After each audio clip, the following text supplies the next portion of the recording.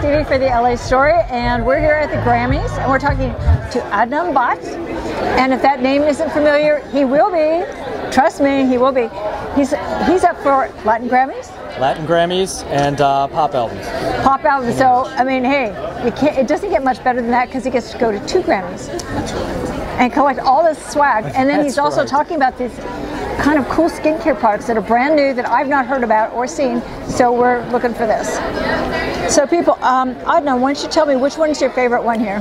Well, that's a, that's a tough call actually. Uh, first of all, I'm really lucky to get a, to be the spokesperson for a brand that, that I actually use. Oh, by the way, the brand is happen too often. is M3K. M3K Beauty. Yeah, we got to do 3K that. Beauty. Yeah, I mean, what I like about both of them is they really empower me to take control over over my aging process. I should say. Yeah, I mean, I'm, I'm 37, and uh, you know, and that's get, that gets up there in uh, in the music industry. Well, not the Latins. They're more Latin America is much more lenient about age. Yeah, I said no. I just said you don't look anything close to 37. But uh, I mean, this is great. The anti-aging cream is perfect a- as a guy who does a pre-shave and then an aftershave, and it's great at night before you go to bed. Right. I really love it. And this stuff, if you look, if you see M3K ads calling me dirty boy, they're, they're referring to this. I'm their dirty boy, and they have this thing. It's called a dirty boy face wash and toner, and. And I usually like to keep to keep pimples off. Because as a, as a rock star, when you're on the road, Yeah. you eat some junky food. Yeah. Right, And, and- and you don't get to wash your face as And much. you don't get to wash your face a lot.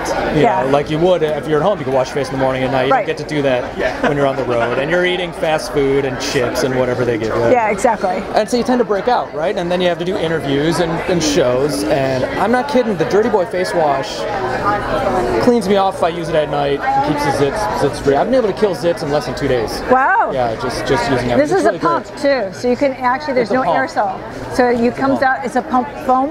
It's a pump foam. Okay, see, makes it easy. And, and especially for guys, because we're really we're really bad at these products. I know. right? I mean, I need instructions. Guys do. usually like, we're really bad. So it, it's simple. I pump it, it squirts out of my hand. Okay, just and the cool thing about this product too, well, he uses it for pre-shave. It's also a hand hand cream too. Right, that's so it's anti-aging. So because your hands are the thing that show your age the first because of all the sun exposure.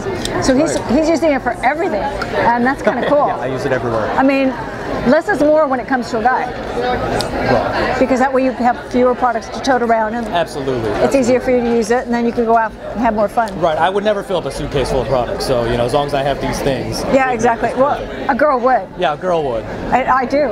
And you know, my, my mother's tried these, you know, and, and she likes them. So it's really not it's not just for men. Well, especially this one, I think was in, initially targeted for women. I mean, it's like I said, it empowers people to be able to take control over their aging process, and I like that. Yeah, it's smart. I like that, It's yeah. very smart. So we wish Anand good luck on, on the Grammys and all that good Oh, stuff. thank you.